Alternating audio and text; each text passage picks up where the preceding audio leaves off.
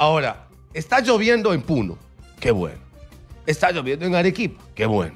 Está lloviendo en Cusco. Qué bueno. En Tacna la cosa está un poco complicada. El gobernador regional de Tacna, Luis Torres Robledo, habla de la crisis hídrica y señala que en las partes altas de Tacna, donde debería estar lloviendo, como está lloviendo en las partes altas de Puno, de Cusco y de Arequipa, ya no hay agua. Escuchen al gobernador. Hace como 60 días, creo 70 días, recién nos han declarado una emergencia. Eso nos, ha puesto contra la, contra la pared, pues porque ya en la parte alta de Tacna ya no hay agua. Teníamos reservorios por 12 millones de metros cúbicos y solamente nos quedan 2 millones.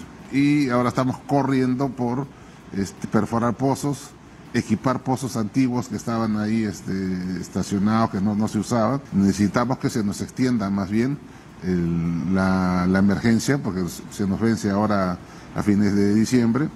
Queremos 60, 90 días más, porque esto no va a acabar acá, recién está empezando. A mí lo de las emergencias no me gustan, pero bueno. Eh, por eso no resuelven los problemas.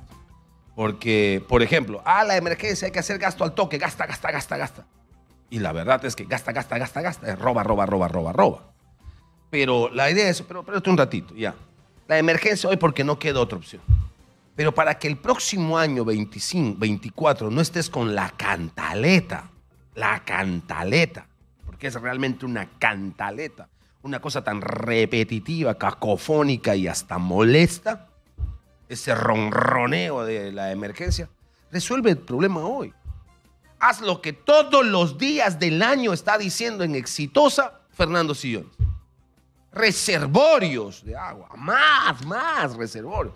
No hay que permitir que una gota de agua se vaya al mar. Hay que acumular agua. No, pero si acumulo agua, ya luego el próximo año, ¿cómo pido emergencia? Y si no pido emergencia, ¿cómo gasto? Bueno, de todas maneras roban. El asunto es que con la emergencia roban muchísimo más fácil. Y por eso les encanta la emergencia.